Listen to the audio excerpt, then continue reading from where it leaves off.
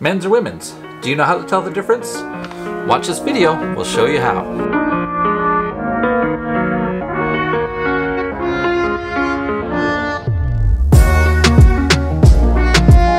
What's up everyone? Thanks for stopping in and welcome to another Thrift Union video. My name's Kevin. Well, I'm back. Uh, so it took a bit of a hiatus um, when the uh, pandemic hit. Our employer, my full-time employer, um, decided that the company and the majority of us are going to work from home. So when that happened, it became a bit much to do work from home, then do the uh, eBay, and then move on to the YouTube. Uh, just became a little overwhelming. Well, I guess overwhelming is not the uh, correct word to use just became a lot basically because when you were going into the office you would have that separation of going to work and then coming home and then being able to do the fun stuff the ebay and the youtube. But not having that break with basically having three full-time jobs at home and not having that separation just became a lot. But we're back.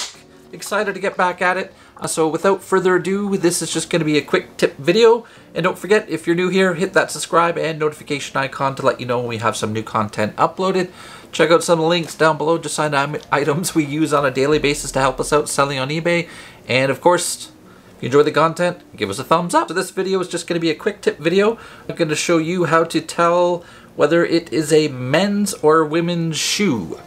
Uh, so we'll grab this here. So this one, check it out. Uh, this is a New Balance uh, Tech Ride 670 V5. Uh, so looking at it, I'm off the hop. Um, can't really tell what it is, whether it's men's or women's. But the quick way, quick and easy, all you want to do is take a look at the size. And how you'll know is if the difference between the US and the UK size is more than one, it's a women's shoe. If it's only a difference of one, it's a men's shoe. So what we got here, it'll focus for us. I don't know if you can see that. Maybe I'll pop it up on the screen separately. So as you can see, you got the men, or sorry, we got a women's size 9 US and size 7 UK. So because that US is uh, 9 and the UK is 7, that difference is obviously 2, which is greater than 1. So this would be a women's shoe